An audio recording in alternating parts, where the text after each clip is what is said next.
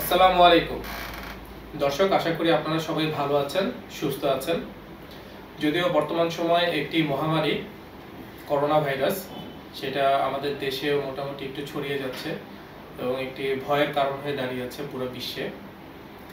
তো তারপরও আমাদেরকে এর মাঝখানেও আমাদেরকে একটু সচেতন এবং সতর্ক থাকতে হবে। যেটার ব্যাপারে সরকারও যথেষ্ট সচেতন এবং আমরা যারা মানুষ আছি বা আমরা যারা নাগরিক আছি, আমরাও মোটামুটি একটু সচেতন। তো আমরা আজকে এখানে একজন রোগীর সাথে আপনাদেরকে একটু পরিচয় করে দিব যিনি দীর্ঘদিন যাবৎ উনি পিএলআইডি রোগী ছিলেন। ওনার কোমরে এবং ঘাড়ের মূলত সমস্যা ছিল। তো ওনার সাথে একটু কথা বলে আমরা একটু জানব যে এই সমস্যাটার কারণে উনি কি ধরনের সমস্যার সম্মুখীন হতেন এবং সেখান থেকে উনি কীভাবে ধীরে ধীরে তিনি উন্নতি লাভ করেছেন এবং আজকে উনি সম্পূর্ণ সুস্থ এবং ভালো অবস্থায় আছেন। স্যার আসসালামু আলাইকুম। ওয়ালাইকুম আসসালাম। স্যার আপনার নামটা কি? আমার নাম শাকিব। আচ্ছা। স্যার আপনি কোথায় থাকেন? আমি ঢাকায় থাকি লালবাগে ঢাকা লালবাগে স্যার একটু জানতে পারি আপনি পেশাগতভাবে মূলত কি করেন? পেশাগতভাবে আমি কিছুটা ট্রেড লাইসেন্সের কাজ করি আর কি আনগভর্নমেন্টের এখানে ট্রেড লাইসেন্সের যত যাবতীয় যত কাজ এই কাজগুলো আমরা করে থাকি। আচ্ছা। স্যার আপনার কাছে একটু জানতে চাইব যে আপনি এই ডিপিআরসি হসপিটালে যেটা ঢাকার শ্যামলীতে অবস্থিত তো এখানে ডক্টর শফিউল্লাহ প্রধান ওনার আন্ডারে থেকে আপনি ট্রিটমেন্ট করেছেন। স্যার মূলত আপনি কেন এসেছিলেন সবার প্রথম? মূলত বলতে গেলে আমি এরকম হাসপাতাল ঢাকা শহরে খুব কমই আছে। হয়তো বা দর্শকরা জানেন যে খুব কমই আছে। আমি দুই তিনটা হাসপাতাল ঘুরেছি কিন্তু তাদের যে ব্যবহার এবং তাদের যে চিকিৎসা পদ্ধতিটা আমি অতটা বলতে পারছি না। কিন্তু তাদের যে ব্যবহারটা ছিল সেই ব্যবহারটা আসলে আমার খুব ভালো লাগেনি। আচ্ছা। কিন্তু স্যারের কাছে আসার পরে স্যার যেভাবে আমাকে এক্সামিনেশন করেছেন যেভাবে অ্যাসিস্ট করেছেন এবং যেভাবে উনি টেক কেয়ার করেছেন আমাকে এবং সাথে আমার যে ট্রিটমেন্ট করেছেন যারা আমার ফিজিওথেরাপিস্ট নিয়েছেন তাদেরকে দিয়েছিলেন দায়িত্ব, তাদের যে দায়িত্ব বোধ এবং দায়িত্ব জ্ঞান দুটোই তারা যেভাবে পালন করেছেন, সেই হিসাবে আমি, যে হিসাবে আমি এখানে ভর্তি হয়েছিলাম, বর্তমানে আমি বলতে পারি যে আমি এইটটি পার্সেন্টের উপরে সুস্থ। আচ্ছা। স্যার আমরা এখানে আপনার ডিফারেনশিয়াল ডায়াগনোসিসে যেটা আমরা দেখতে পাচ্ছি। আপনি মূলত একজন পিএলআইডি রোগী ছিলেন যেটা হচ্ছে আপনার এল ফোর অ্যান্ড ফাইভ জি। এবং হচ্ছে সার্ভাইকালের ফাইভ অ্যান্ড সিক্স জি। এই ডিসগুলোতে আপনার মূলত সমস্যা ছিল। তো এই সমস্যাটার কারণে আপনি কি ধরনের সমস্যার সম্মুখীন হতেন? প্রথম সমস্যা ছিল আমি যেহেতু ঘাড়ের সমস্যা দিয়ে আমি শুরু করি সেটা ঘাড়ের এই পিএলআইডির কারণে আমার হাত পা ঝিনঝিন হাতটা ঝিনঝিন করতো আমার হাত কাঁপতো। বর্তমানে হাত কাঁপা সব বন্ধ হয়ে গেছে। একটু থাকতেই পারে কারণ অনেক দিনের ব্যথা আমি প্রায় তিন থেকে চার বছর ভুগেছি। অনেক ডাক্তার দেখিয়েছি কিন্তু ওরকম কোনো ফল পাইনি। না পাওয়ার কারণে স্যারের এখানে আমি বলা যেতে পারে যে মোটামুটি যতটুকু সময় দেওয়ার চেষ্টা করেছি এটা যার যার ব্যক্তিগত জিনিস যে যতটুকু করতে পারেন। এবং সেক্ষেত্রে আমি যতটুকু আশা করেছিলাম তার চাইতে অনেক বেটার একটা অনেক ভালো পেয়েছেন। পেয়েছি। তবে আমি দর্শকদেরকে একটি কথাই বলতে চাই যদি আপনারা কোনো কোনো সময় কোনো জায়গায় যেতে চান আমি একবার অনুরোধ করব অন্তত ডিপিআরসিতে এসে একবার ঘুরে যাবেন। এতে কি হবে লাভ বা কি ক্ষতি হবে সেটা আপনার ব্যাপার। তবে আমি আপনাদের কাছে একটাই অনুরোধ রাখব যেন একবার স্যারের কাছে আপনি ঘুরে যান। থাকেন বা না থাকেন ট্রিটমেন্ট না করেন সেটা আপনার টোটালি আপনার ব্যাপার। বাট আমি বলব আমার অভিজ্ঞতা থেকে যে যেন স্যারের সাথে আপনি একবার অ্যাপয়েন্টমেন্ট বা দেখা করে যান।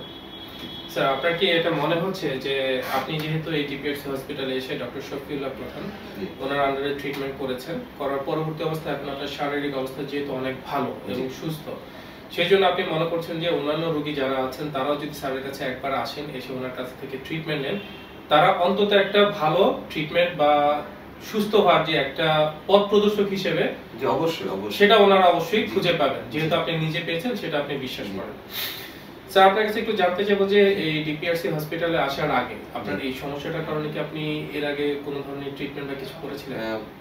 প্রথমে আমি গিয়েছিলাম অর্থোপেডিক্স ডিপার্টমেন্টে কিন্তু অর্থোপেডিক্স ডিপার্টমেন্টে আমাকে টোটালি মেডিসিন মেডিসিন ফলো আপের উপর রাখা হতো বাট মেডিসিনের একটাই সাইড ইফেক্ট ছিল যে হয়তো বা যখন আমি মেডসটা নিতাম মেডিসিন নেওয়ার পরে এক ঘণ্টা বা দুই ঘণ্টা খুব ভালো থাকতাম বাট তারপরে আস্তে আস্তে এটা আমাকে আবার যে পিএলআইডির যে সমস্যাগুলো হয় অবশ্যই আপনারা বুঝতে পারেন জানেন যে পিএলআইডির সমস্যাগুলো কি সেগুলো আবার রিফর্মে চলে আসতো বাট এরপরে আরেকটা ফিজিওথেরাপিতে গিয়েছিলাম কিন্তু ওনাদের বলব না আমি নামটা বলতে চাচ্ছি না। ঠিক আছে কারণ এতে হয়তোবা অনেকে দুঃখ পেতে পারেন কষ্ট পেতে পারেন কিন্তু ওখানে আমার ব্যবহারটা অতটা ভালো লাগেনি এবং ওনারা খুব প্রফেশনাল ভাবে কাজটা করেন। বাট আমি এখানে বলব যে হ্যাঁ সবাই প্রফেশনাল বাট কেউ কেউ আন্তরিকভাবে কাজের ভিতরে কিছু পার্থক্য আছে, কেউ- দক্ষতার ভিতরে কিছু কেউ আন্তরিকভাবে প্রফেশনাল আর কেউ শুধুমাত্র প্রফেশনাল আমি বলব যে এখানে আন্তরিকভাবে প্রফেশনাল আমি এই কথাটাই শুধু বলতে চাই। দর্শক, এখানে একটা বিষয় আসলে আমাদের কাছে বারবারই আসলে উঠে আসতেছে যে ট্রিটমেন্ট করার বিষয়টা দেখা যাচ্ছে অনেকেই অনেক ডক্টরের কাছে যাচ্ছেন বা বিভিন্ন ফিজিওথেরাপি সেন্টারের কাছে যাচ্ছেন। অনেক ডক্টরই দেখা যাচ্ছে যে ওষুধের উপর নির্ভরশীল। পেশেন্ট যাচ্ছেন, তাদেরকে হয়তো কিছু ওষুধ দিয়ে দিচ্ছেন, ব্যথানাশক কিছু ওষুধ পেশেন্ট হয়তো কিছুদিন ওষুধ খাচ্ছেন, যতদিন ওষুধ খাচ্ছেন, ওনারা ভালো থাকছেন যখন ওষুধটা ছেড়ে দিচ্ছেন, আবার তিনি আগের পর্যায়ে চলে যাচ্ছেন। স্পেশালি পিএলআইডি রোগীর জন্য শুধুমাত্র মেডিসিনে ওনার পুরোপুরি উনি সুস্থ হবেন, সেটা আসলে বলা যায় না। কারণ পিএলআইডি রোগীর জন্য আসলে প্রপার যে ট্রিটমেন্ট যেটাকে ডক্টর শফিউল্লাহ প্রধান বলেন অ্যাডভান্স ফিজিও ট্রিটমেন্ট সেটার মাধ্যমে যদি একটা রোগী প্রপারলি গাইডলাইন পায় এবং সঠিক ট্রিটমেন্ট পায় সেই রোগী ইনশাল্লাহ আশা করা যায় সেই রোগী সম্পূর্ণ সুস্থ এবং ভালো হয়ে যায়। এমনটাই আমরা সবসময় দেখে আসছি। যেটা আমরা এই রোগীর কাছ থেকে আমরা শুনলাম। ওনার উনি নিজেও বিভিন্ন জায়গায় বিভিন্ন ধরনের ট্রিটমেন্ট করেছেন বিভিন্ন ধরনের মেডিসিন উনি খেয়েছেন। প্রায় চার বছর। প্রায় চার বছর। এটা অনেক দীর্ঘ একটা সময়। সো ওষুধ খাওয়ার পরবর্তী অবস্থায় উনি ভালো থাকেন। পরবর্তীতে যখন উনি ওষুধ ছেড়ে দিচ্ছেন আবার উনি আগের পর্যায়ে উনি চলে যাচ্ছেন। তো যার আসলে ব্যথা হয়, সেই ব্যক্তি আসলে শুধুমাত্র বুঝতে পারেন যে আসলে ব্যথার কষ্টটা কি এবং এই কষ্ট থেকে উত্তরণ পাওয়ার জন্য সেই ব্যক্তি, আমরা এমন অনেক রোগীকে দেখতে পাই যে বলে যে মানে আমার সব কিছুর বিনিময়ে আমাকে জাস্ট একটু ব্যথা থেকে আমাকে মুক্তি দেন। ব্যথা থেকে মুক্তি পাওয়ার জন্য মানুষ এমন আকুল আবেদন জানায়।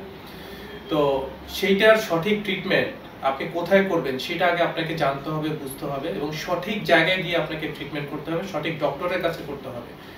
ডক্টর নামধারী এরকম অনেকেই আছেন যেটা আমাদের বিভিন্ন জায়গায় বিভিন্ন ধরনের বিজ্ঞাপন দিচ্ছেন। ভুয়া বিভিন্ন চটকদার বিজ্ঞাপনের মাধ্যমে ক্রেতাদেরকে বা রোগীদেরকে আকৃষ্ট করে, কিন্তু তারা সঠিক ট্রিটমেন্ট না পাওয়ার কারণে আমরা এমনও দেখতে পাই যে সেই ধরনের রোগীরা সারা জীবন পঙ্গুত্ব বরণ করেন। তো আমার মনে হয় যে এই ধরনের রোগীদের উচিত যে কোনো জায়গায়, যে কোনো ধরনের ট্রিটমেন্ট করার আগে সেই প্রতিষ্ঠান সম্পর্কে আগে একটু জানা, বোঝা, একটু অ্যানালাইসিস করা। সেই ডক্টর বা অন্যান্য রোগীদের কাছ থেকে একটু জানা যে আসলে আমরা কতটুকু ভালো হচ্ছে। আমরা কিন্তু সেটা নর্মালি আমরা করি। আমরা যখন বাজারে কোনো কিছু কিনতে যাই, আমরা কিন্তু আসলে মানুষের কাছ থেকে একটু জানার চেষ্টা করি। আরও দু একটা জায়গা থেকে জানি যে আসলে এই প্রোডাক্টটা আমার জন্য ভালো কিনা, স্বাস্থ্যসম্মত কিনা। তো এই ধরনের জিনিসটা আসলে আমাদের ভিতরে কিন্তু আছে, আমরা চেষ্টা করি। তো আমরা এই রোগীর কাছ থেকে কিন্তু আসলে আমরা সেটা আসলে বারবার জেনেছি। উনি নিজে অ্যানালাইসিস করেছেন। অ্যানালাইসিস করে পরবর্তীতে উনি ডক্টর শফিউল্লাহ প্রধান, ওনার আন্ডারে থেকে উনি ট্রিটমেন্ট করেছেন। ট্রিটমেন্ট করার পরবর্তী অবস্থায় এখন উনি সম্পূর্ণ ভালো এবং সুস্থ বোধ করছেন। ওনার যে কোমরের ব্যথাটা ছিল এবং ঘাড়ের ব্যথা ছিল, সেটা এখন আর ওনার নাই। উনি এখন আর আগের মতো করে উনি ফিল করছেন না এবং উনি ওনার যে স্বাভাবিক কাজগুলো, সেগুলো উনি ভালোভাবে করতে পারছেন। স্যার আপনার কাছে আরেকটা বিষয় একটু জানতে চাই। আপনি যেটা বলেছেন যে আপনি বিভিন্ন ডক্টরের কাছে গিয়েছিলেন বিভিন্ন ট্রিটমেন্ট করেছেন বাট আপনি সঠিক ফলাফলটা পাননি।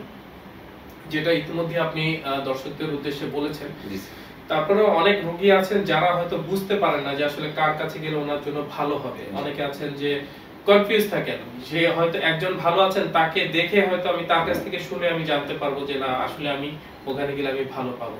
তো আমাদের সেই সকল ভাই বোনদের উদ্দেশ্যে কিছু বলবেন? আমি প্রথমে একটা কথাই বলতে চাই, স্যার যে ধরনের অ্যাসেসমেন্ট করেন প্লাস যে ধরনের ফলো আপ করেন, উনি এমনও হয়েছে যে রাত্রে সাড়ে এগারোটার সময় আমাদেরকে ফলো করতে আসছেন। তো আমি জানি না অন্য কোনো জায়গায় কোনো স্যার বা কোনো ডক্টর রাত সাড়ে এগারোটার সময় রোগী দেখার জন্য আসেন কিনা, এটা আপনারা একটু মাথায় রাখবেন। আর এখানে চিকিৎসা পদ্ধতি সম্পর্কে টোটালি আমি বলতে চাই, সম্পূর্ণ ভিন্ন এবং আপনার যখনই যা প্রয়োজন বা যখনই যে সমস্যাটা হচ্ছে আপনাদের ম্যানেজমেন্টকে জানানোর সাথে সাথেই সেটা সলভ হয়ে যাচ্ছে এবং তারা খুব আন্তরিকভাবে সেটাকে সলভ করে দিচ্ছেন। যদি দেখা যাচ্ছে যে এটা ডক্টরের পর্যায়ে যাচ্ছে, সেটা করে দিচ্ছেন রুম পর্যায়ে বা রুমের বা মেনটেনেন্স যা কিছুই দরকার পড়তেছে, সবকিছু খুব দ্রুততার সাথে। অর্থাৎ এখানে আমি বলব যে আন্তরিকতা যে আমি কথাটা বলেছি, সেটার সাথে সাথে যে দায়িত্ববোধটা দায়িত্ববোধটা কিন্তু সবচেয়ে বড় জিনিস। যে আমি রোগী ভর্তি করলাম তার চিকিৎসাটা কীভাবে নিচ্ছি, কীভাবে দিচ্ছি? আর এখানে চিকিৎসা পদ্ধতি সম্পর্কে আমি আরেকটু বলতে চাই, এই ধরনের চিকিৎসা পদ্ধতি ঢাকা বা বাংলাদেশে আপনি আর কোথাও পাবেন না। এটা আমি সবচেয়ে বড় করে বলতে পারি এবং সত্যি কথা বলতে আমি প্রায় চোদ্দ দিন থেকে পনেরো দিনের মধ্যেই আমার যত নতুন ব্যথা ছিল, আমার পিএলআইডি ব্যথার আগে স্পোর্টস ইঞ্জুরি ছিল, সেটা এখন একটু আছে। তবে আমি যথেষ্ট সুস্থ বলতে গেলে, না হলে তো এখানে অবশ্যই স্যারের সাথে সাক্ষাৎকার দিতে পারতাম না। এবং আমি যথেষ্ট সুস্থ অনুভব করছি দেখে আজকে কিন্তু আমি এই জায়গায় বসে আছি। এর আগে আমি ঠিকমতো বসতেও পারতাম না। মানে এক জায়গায় স্থির হয়ে বসতে পারতাম না, কথা বলতে গেলে আমার সমস্যা হতো। তো আমি তার আপনাদের উদ্দেশ্যে আরেকটু বলতে চাই যে, স্যার যেটা বলেছেন যে যাচাই বাছাই করবেন, যাচাই বাছাই করবেন, ঠিক আছে। কিন্তু এমন ভাবে করবেন না যে আপনার নিজের অর্থনৈতিক দিকে দেখবেন, দেখার সাথে সাথে যাচাই বাছাইটা ওইভাবেও করবেন যে যার কাছে আমি ভালো একটা চিকিৎসা পেতে পারি। আর এখানের যে চিকিৎসা ব্যবস্থাটা, এটা আপনি, আমি আবার বারবার বলতে চাই বা আবার বলতে চাই, এই চিকিৎসা ব্যবস্থাটা আপনি অন্য কোথাও পাবেন না। তো আপনি একবার চেষ্টা করে দেখতে পারেন। এটা বাদ বাকিটা আপনার ডিসিশন যে আপনি কি দেখবেন কি দেখবেন না। কারণ আমি শুধু বললেই হবে না, এটা আপনার স্যার যেহেতু বলেছেন যে দেখেন বা দেখেছেন, অনেকেই দেখেছেন। তো আমি একবার অনুরোধ করব আপনাদেরকে যে একবার এসে ঘুরে যান ধন্যবাদ। ধন্যবাদ শাকিল সাহেব। আপনি অনেক সুন্দর করে আপনার টোটাল বিষয়টা আপনি বর্ণনা করেছেন এবং রোগীদের উদ্দেশ্যে আপনি অনেক ভালো একটি কথা বলেছেন তাদেরকে উপদেশমূলক ভাবে তো দর্শক আশা করি আপনারা এটা থেকে অনেকটুকুই বুঝতে পেরেছেন। তো আমার আর নতুন করে আসলে বলার কিছু নাই যা কিছু বলার শাকিল সাহেবই বলে দিয়েছেন। বাকি বিচার বিবেচনা সবটুকু আপনাদের হাতে। তো আশা করি আপনারা ভালো থাকবেন সুস্থ থাকবেন। এই কামনা শেষ করছি। আসসালামু আলাইকুম। আসসালামু আলাইকুম। আমাদের নতুন নতুন নিউজগুলো প্রতিনিয়ত আপডেট পেতে আমাদের ইউটিউব চ্যানেলটি সাবস্ক্রাইব করুন এবং ডান পাশের বেল বাটনটি চাপুন। ভালো লেগে থাকলে আপনাদের সোশ্যাল মিডিয়ায় তা শেয়ার করুন। আমাদের সাথে থাকার জন্য ধন্যবাদ।